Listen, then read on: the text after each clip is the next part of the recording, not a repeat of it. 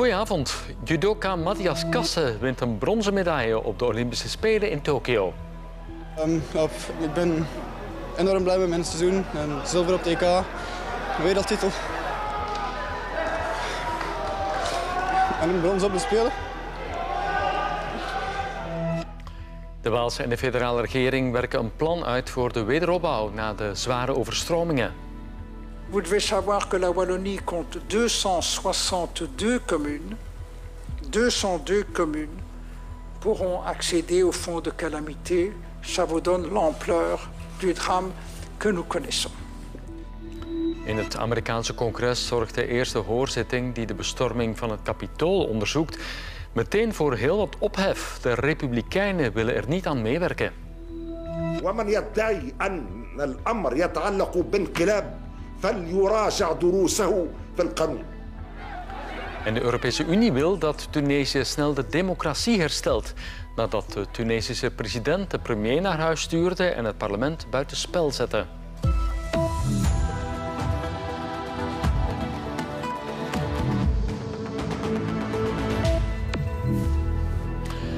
Ons land heeft een tweede medaillebeet op de Olympische Spelen in Tokio. En daarvoor heeft Matthias Kasse gezorgd. Een gouden droom is het niet geworden voor de judoka, maar brons is natuurlijk ook heel mooi. In zijn laatste kamp in de categorie tot 81 kilogram vloerde Kasse vanochtend de Georgiër Grigalishvili met Ippon. Na het zilver van Wout van Aert pakte judoka dus een tweede medaille voor België. Was er klaar voor. Um, het was een, een van de, van de WK-finale. Uh, ik ken de Georgiër goed. Um, en hoe ik heb gescoord heb ik zoveel keren gedaan op training dat dat nu automatisch kwam. Daar moest ik niet over nadenken. En, uh, ik ben, ben heel blij dat het gelukt is. En, en ik kan toch tevreden terugkijken op deze dag. Uh, desondanks dat ik het, het goud niet heb kunnen, kunnen halen. En daarover straks veel meer. Opschudding was er vanmiddag in, het in de teamfinale van het turnen. Want het Amerikaanse fenomeen Simone Biles is daar uit de wedstrijd gestapt.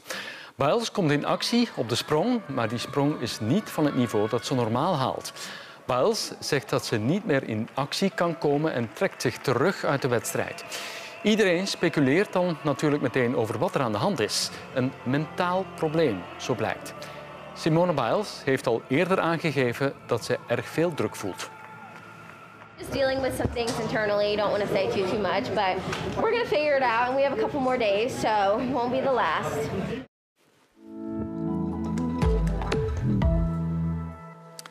Na de overstromingen in Wallonië zijn nu al 41 doden geteld. Twee mensen blijven nog altijd vermist.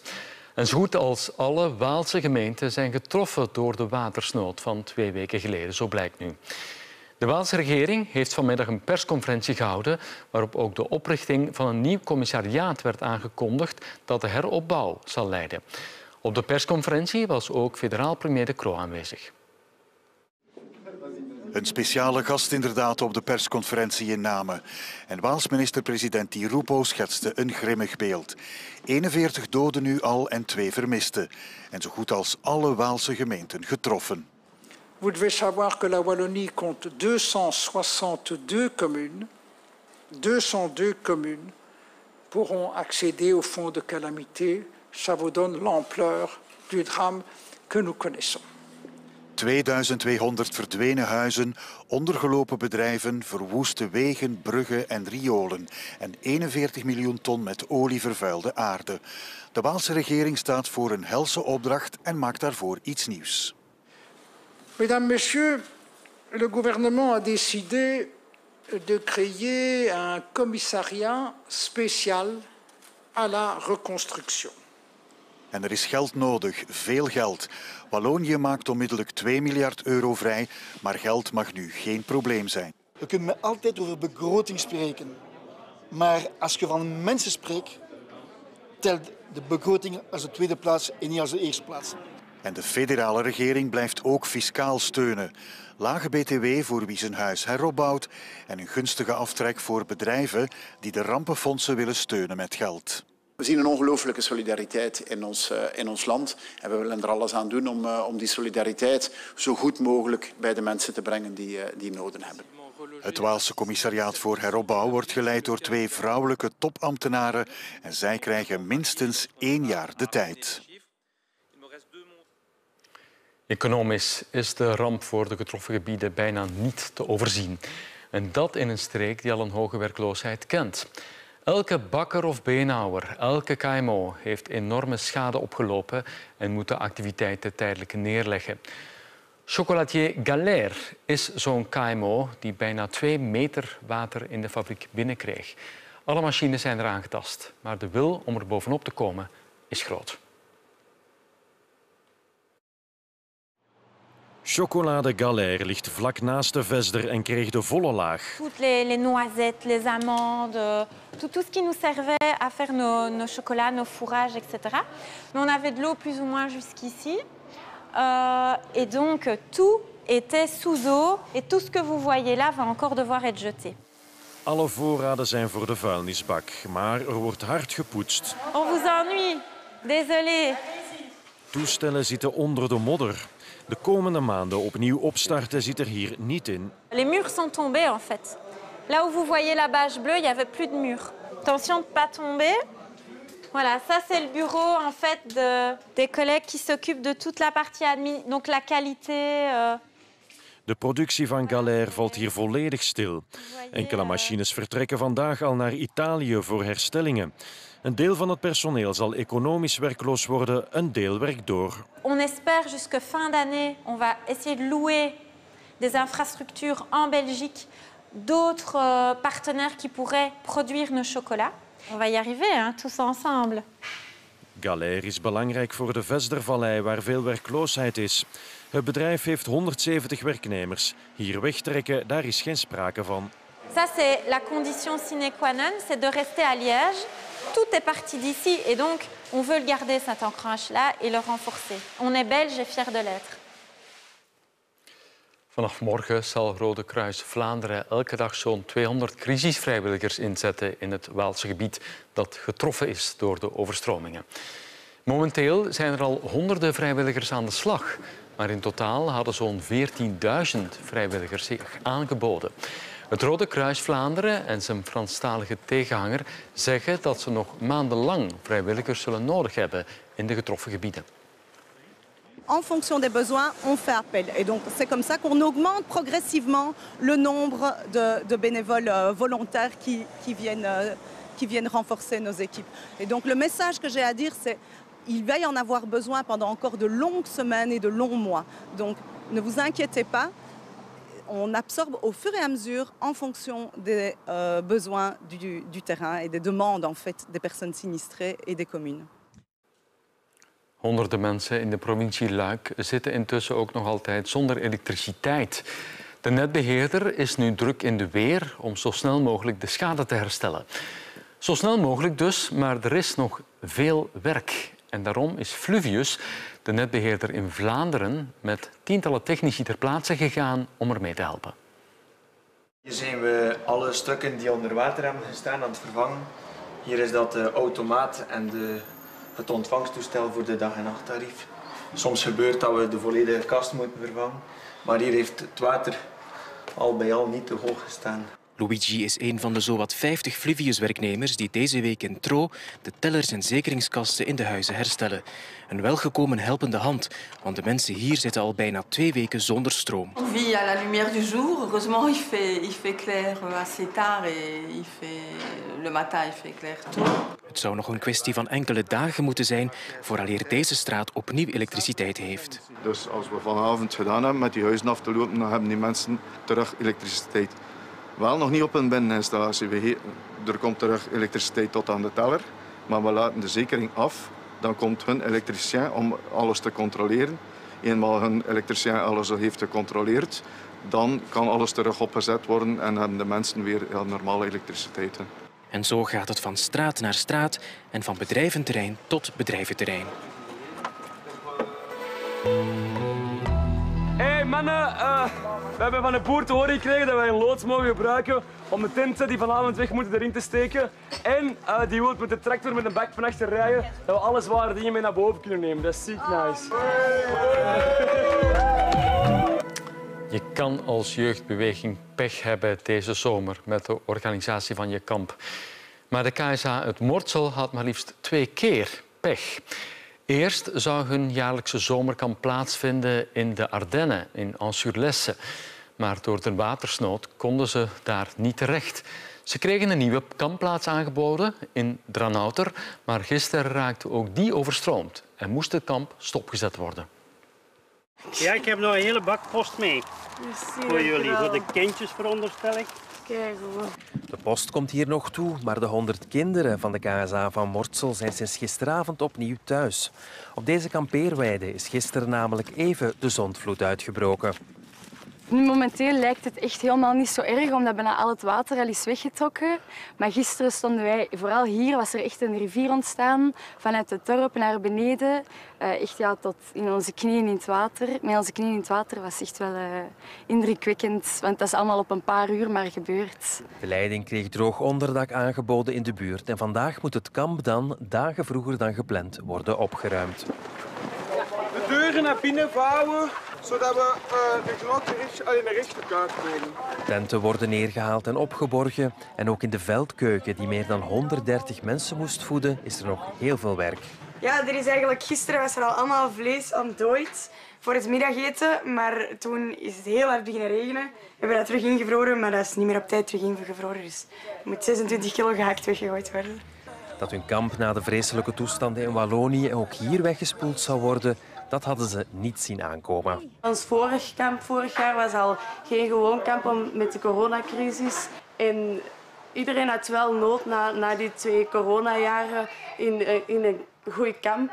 Um, maar we zijn wel gewoon super blij dat we dat tot gisteren wel hebben kunnen doen, een tof kamp.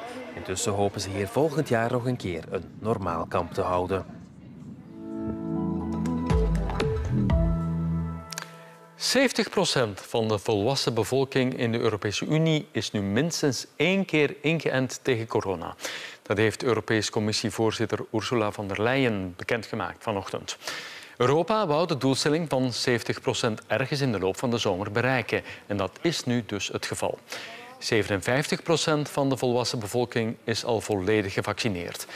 Maar, zegt von der Leyen, het is belangrijk dat iedereen zich laat inenten. So these figures put Europe among the world leaders. The catch-up process has been very successful, but we need to keep up the effort.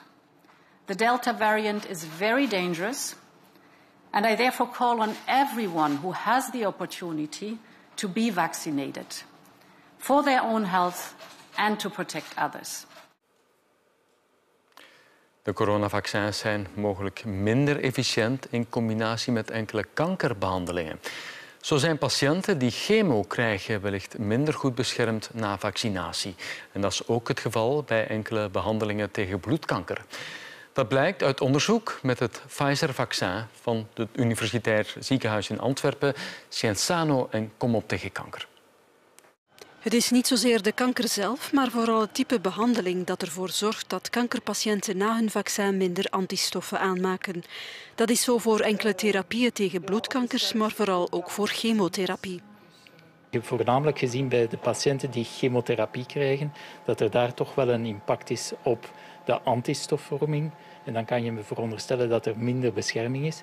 En dan binnen de hematologische tumoren bepaalde medicatie die voornamelijk op de immuuncellen gaan werken, ook daar zien we dat er een belangrijke impact is op de antistofvorming. Om een idee te geven, de blokjes links tonen de opbouw van antistoffen zonder kankerbehandeling na de eerste en de tweede spuit. Rechts toont de antistoffen bij patiënten die chemo krijgen, duidelijk minder. Dankzij deze studie weten patiënten nu vooral beter waar ze aan toe zijn. Voor patiënten die chemotherapie ondergaan is het heel belangrijk dat ze na vaccinatie geen vals gevoel van veiligheid krijgen. Het is heel belangrijk dat de naasten en zij zelf eh, de COVID-maatregelen eh, blijven respecteren. En ook dat de familie en de naasten zich laten vaccineren om zo de kankerpatiënt mee te beschermen. Dus daar is zeker geen reden tot paniek. We hebben gezien dat er toch wel wat bescherming is, dat er minder ernstige COVID-problemen opduiken bij die patiënten onder chemotherapie. Maar het is toch een uh, blijk om waakzaam te blijven. De onderzoekers gaan nu bekijken of sommige kankerpatiënten baat hebben bij een derde vaccin.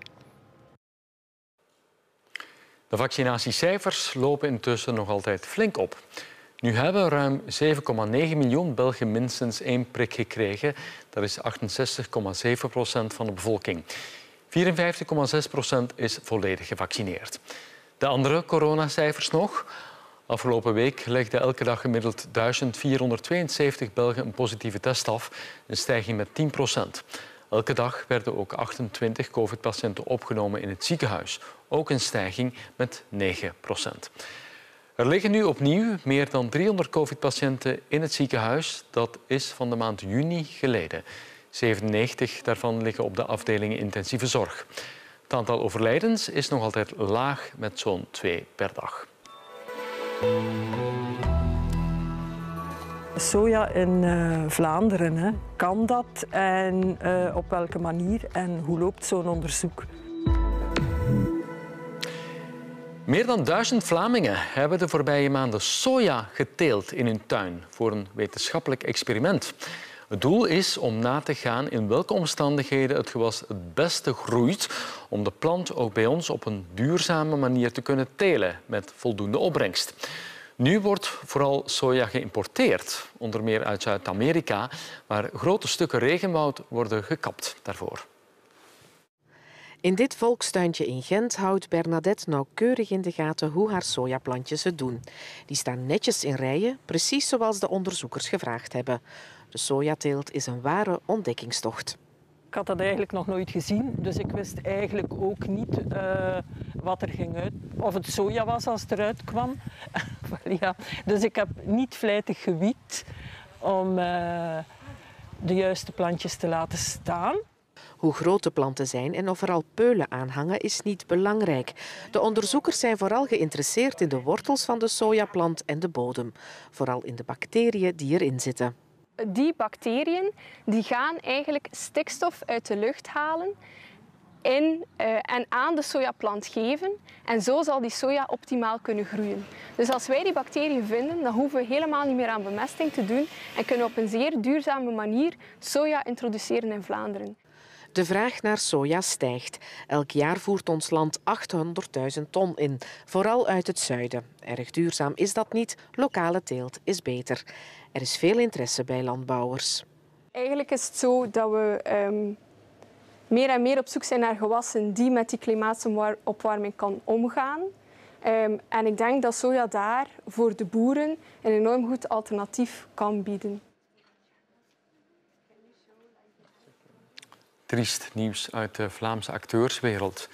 Michel van Doeselare is overleden. Van Doeselare begon zijn carrière in het theater, maar het grote publiek kent hem vooral van rollen in Vlaamse films en series. Hier zien we hem als textielbaron Leo de Schrijver in de VRT-reeks Het Goddelijke Monster, een verfilming van de trilogie van Tom Lanois. Hij speelde ook jarenlang in de VTM-serie Aspe. Van Doeselare leed al zeven jaar aan een zeldzame hersenziekte, waardoor hij beetje bij beetje zijn spraakvermogen verloor. Daarover maakte hij trouwens samen met zijn vrouw een documentaire.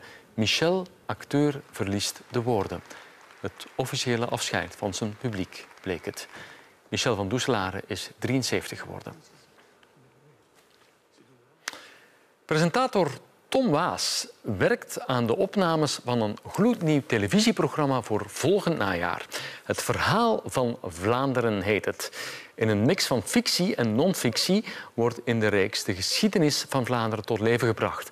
Van de prehistorie tot de Tweede Wereldoorlog.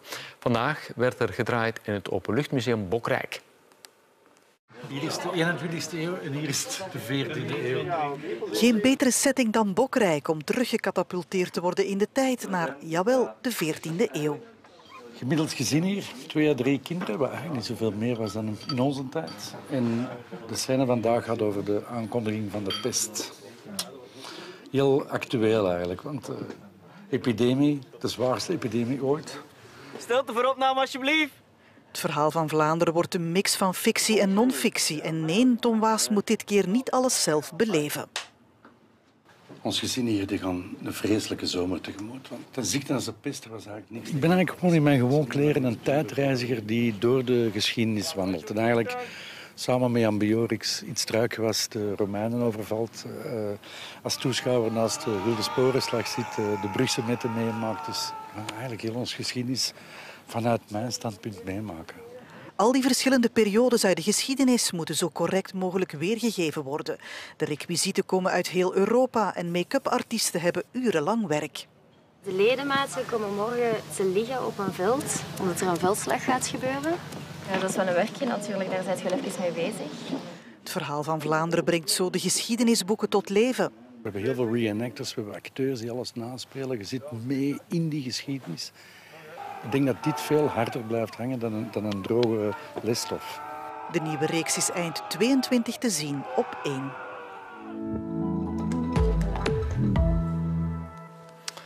In het Amerikaanse congres is de eerste hoorzitting gestart die de bestorming van het Capitool van begin dit jaar onderzoekt. Meer dan 500 aanhangers van voormalig president Trump bestormden toen het parlementsgebouw. Vijf mensen kwamen daarbij om het leven. Het gaat niet om een onafhankelijke onderzoekscommissie, want ze heeft onvoldoende steun van de Republikeinen. Zij noemen het onderzoek een eenzijdige aanval van de Democraten.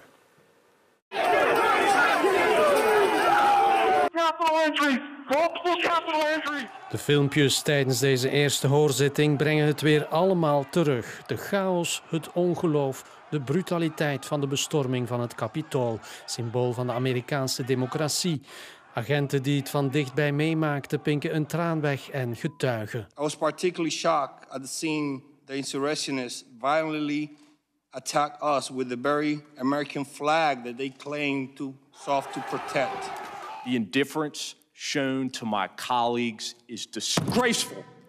De start van de commissie had heel wat voeten in de aarde. Een onafhankelijke onderzoekscommissie met evenveel democraten als republikeinen is het niet. Dat hadden de republikeinen weggestemd wegens te veel heksenjacht op Trump en zijn aanhang. Some people are trying to deny what happened, to whitewash it, to turn the insurrectionists into martyrs. But the whole world saw the reality of what happened on January 6. Slechts twee republikeinen zetelen in de commissie. Niet toevallig de grootste critici van hun partijgenoot Trump. Gekozen door Nancy Pelosi, de democratische voorzitter van het Huis van Afgevaardigden. We must know what happened here at the Capitol.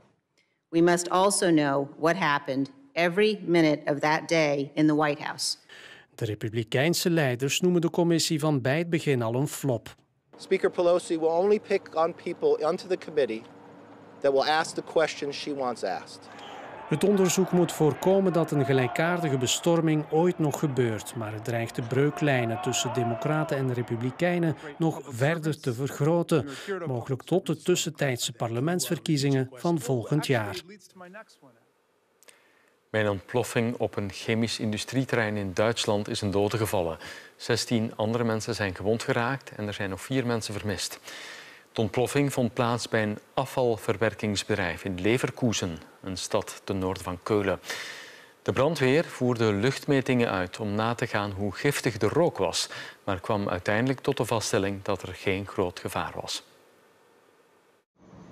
Een zware explosie rond half tien vanmorgen op het industrieterrein in Leverkusen zorgde onmiddellijk voor groot alarm. Een opslagtank van een afvalverbrandingsbedrijf zou om een nog onduidelijke oorzaak ontploft zijn.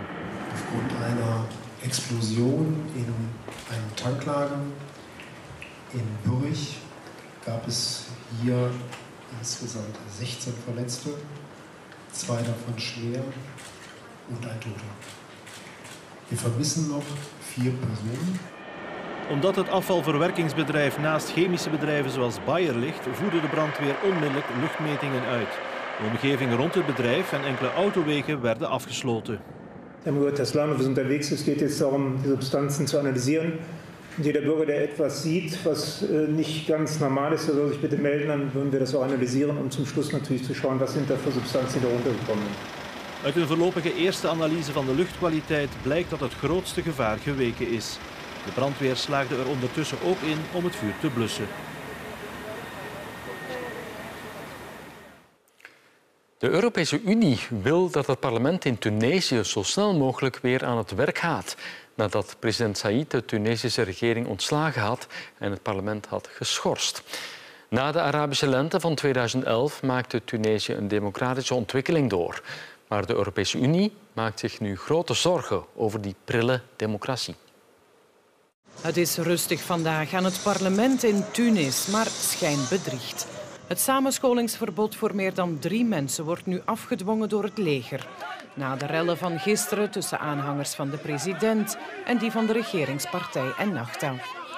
De militairen hielpen de president om alle macht naar zich toe te trekken. Maar een staatsgreep is het niet, zegt hij. فاليوم تحملت المسؤولية ونتحمل المسؤولية التاريخية ومن يدعي أن الأمر يتعلق بانقلاب فليراجع دروسه في القانون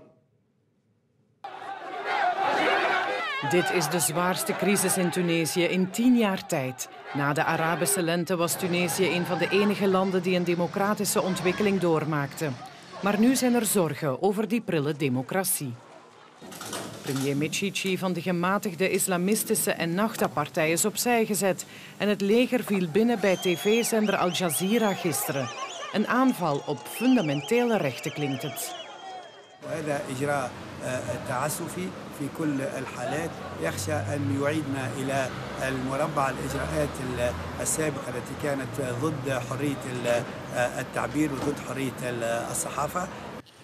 De Tunesische economie is het voorbije jaar met 8% gekrompen en het land heeft erg veel coronadoden. Het ongenoegen daarover heeft het protest tegen de regering aangewakkerd. De president wil aan die politieke stilstand een einde maken, maar de ogen van de wereld zijn gericht op hem en hoe hij deze crisis verder aanpakt.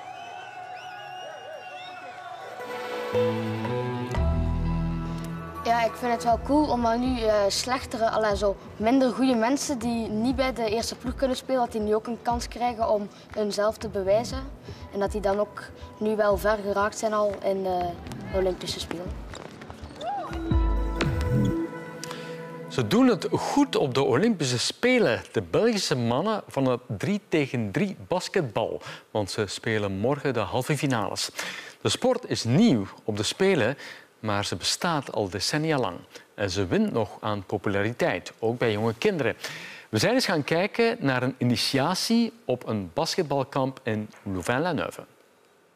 Het is nu al de ontdekking van de Olympische Spelen. 3 tegen 3 basketbal. Het gaat razendsnel. Je speelt met z'n drieën op een half veld en je moet 21 punten halen. Ook bij kinderen slaat de sport aan. Op dit basketbalkamp leren ze voor het eerst 3 tegen 3 kennen. Al is dat wel even wennen. 3 op 3, dat is natuurlijk ook heel moeilijk, want je staat met minder op een veld. Dus dan kan je moeilijker kansen creëren, omdat, uh, omdat ze heel hard uh, verdedigen op u. Dus dan is het zeker moeilijker om te scoren. Even rusten kan niet, want een match duurt maar 10 minuten en elke ploeg mag maar 12 seconden de bal bijhouden. En dat is toch niet zo eenvoudig. Dus je moet echt goed op de juiste moment de juiste passen geven. Want anders, ja, de tijd is sneller om. 12 seconden is echt niet veel. Ik vind het leuk dat je echt hard kunt gaan. Dat je zo na de match, na die 10 minuten uitgeput zijn en dat Oké, ook al ben je verloren, ik heb mijn best gedaan en ik vond het leuk. Toch is niet iedereen overtuigd. Sommigen wachten liever nog af en houden het voorlopig bij het gewone basketbal. 3 on 3 staat eigenlijk nu nog een beetje in de kinderschoenen, denk ik.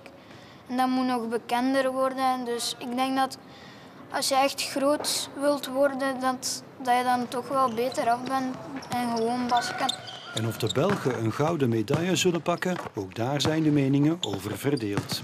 Ik vind dat ze goed bezig zijn, maar ik denk dat ze zo tweede gaan worden, dus in de finale gaan verliezen of zo. Ze hebben nog kans om te winnen, maar dat is niet zeker natuurlijk. Nou, daar gaan we wel voor. Vandaag kregen we opnieuw buien. Vannacht wordt het rustiger en droger. Eerst in het westen, later ook in de rest van het land. Minimaal tussen 12 en 16 graden. Morgen krijgen we opklaringen en stapelwolken met misschien lokaal nog enkele buien. In het westen en aan zee wordt het winderig met rukwinden tot 65 km per uur. Maximaal tot 22 graden. En dat was het voor nu. Veel plezier voor wie bij ons blijft voor Studio Tokyo. En het journaal begon ook met goed nieuws van de Spelen. Matthias Kasse heeft voor ons land brons gepakt in het judo. Fijne avond nog. Oh, het is over. Het is over. Enorm blij met mijn seizoen. Zilver op TK, wereldtitel. En een brons op de Spelen. En brons op de Spelen. Um, en in Parijs zal, uh, ga ik voor goud terug.